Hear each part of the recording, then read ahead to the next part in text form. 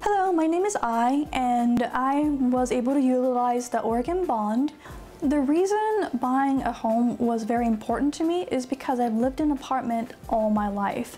And it used to be affordable but my rent actually doubled in less than four years. And of course my wage is not doubling in that time frame. So that's when I decided to start looking online for any support which I could use to possibly purchase a home. And that's when I came across an organization called Proud Ground. And I basically called them up and said, this is my situation. Is there any resources that might be of assistance to me? And this is where I've also learned about the Oregon Bond, as well as the grant available through Proud Ground.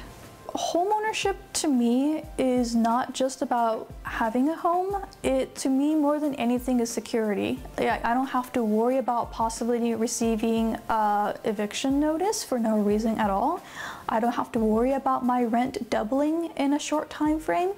And not only that, I also get to personalize it with my color preference for the wall.